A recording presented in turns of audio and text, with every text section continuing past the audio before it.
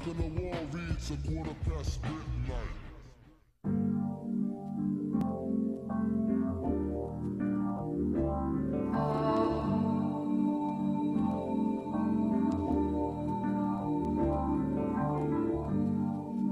Think about it and understand it.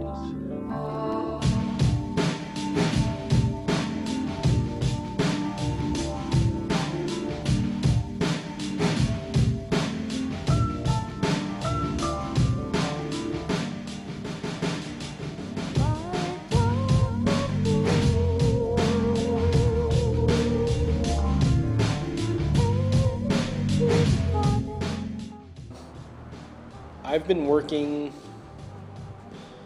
with this line segments body of work now for about three years. In the first couple of years I started working with it, um, it was something I did very privately. It was something more of a, a study, a home study. You know, it was something that I worked on um, to to better understand composition ultimately and balance.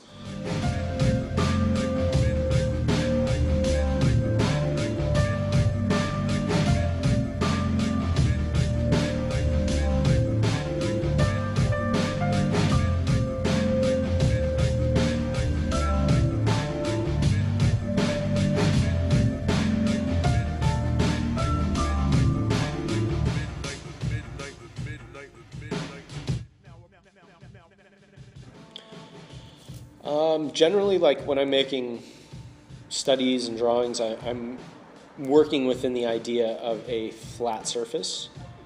And so, as far as the perspective goes, I'm working within, I guess, the per, the perimeter of, of the space, and that's kind of dic- not dictating, but it's giving me some very direct guidelines to work within.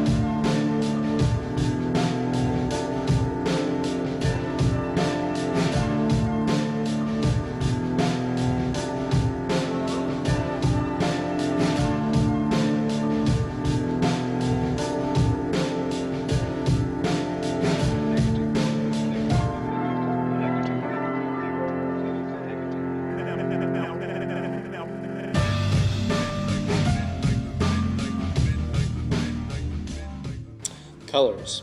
I think the colors are very indicative of the city. I feel like those colors are very powerful. They're very strong. Um, they're also subtle at the same time. You know, there's a lot of nuances in this city that are very subtle. There's a lot of a lot of beauty in this city, and there's a lot of harsh reality in this city as well.